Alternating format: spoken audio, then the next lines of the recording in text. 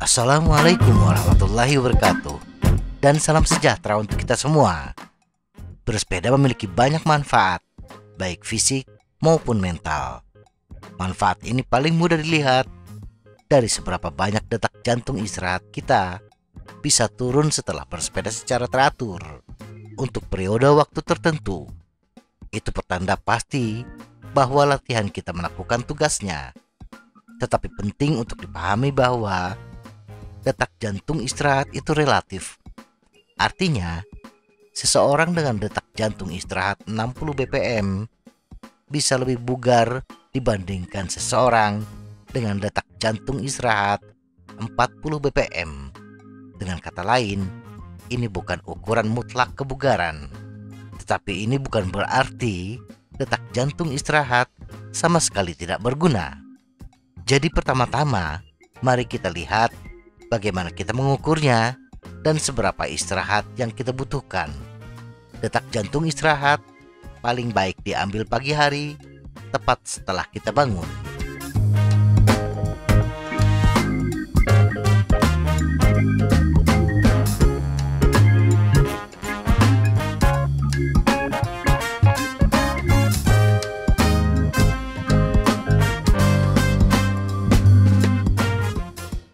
Mengapa pesepeda memiliki detak jantung rendah?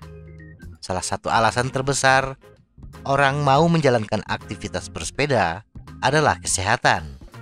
Walaupun mungkin tidak tahu berapa jumlahnya. Kita biasanya hanya tahu itu baik untuk kesehatan. Apakah kita tahu angkanya atau tidak, efeknya nyata, terutama menurunnya detak jantung istirahat kita. Ketika kita aktif bersepeda, tubuh kita terbiasa memompa darah dengan kecepatan yang lebih tinggi dibandingkan saat kita hanya duduk atau berjalan. Saat kita berolahraga, jantung menjadi lebih besar dan lebih kuat dan mampu mendorong lebih banyak darah dalam setiap detak.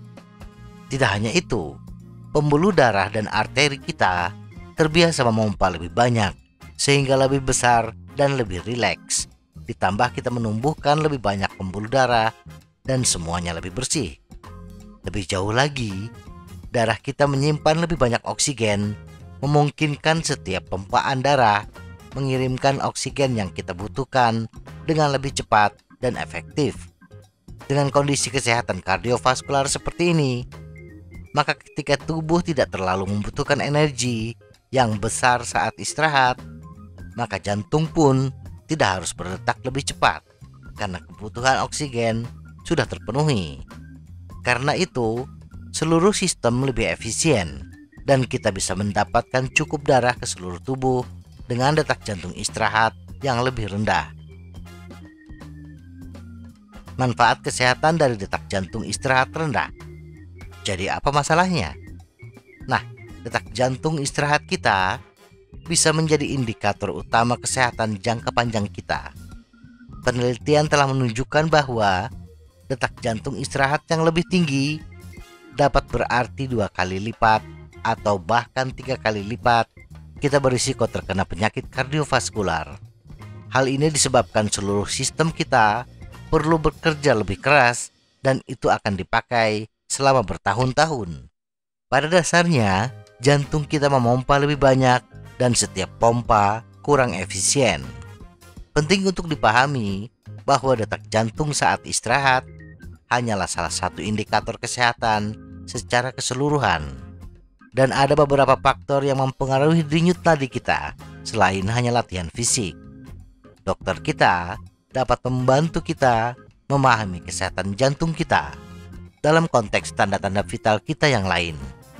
Meskipun demikian, aturan umumnya adalah bahwa bertujuan untuk menurunkan detak jantung istirahat adalah hal yang baik dan bersepeda sangat membantu kita mencapai tujuan ini. Kelemahan detak jantung istirahat pesepeda.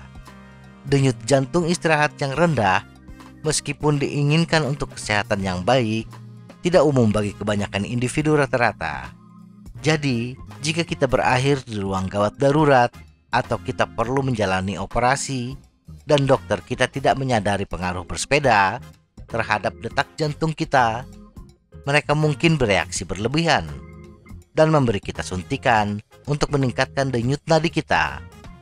Jika kita seorang yang aktif bersepeda dengan kondisi kebugaran yang prima, kita tidak perlu suntikan. Dan mendapatkannya ketika kita tidak membutuhkannya bisa merugikan kesehatan kita.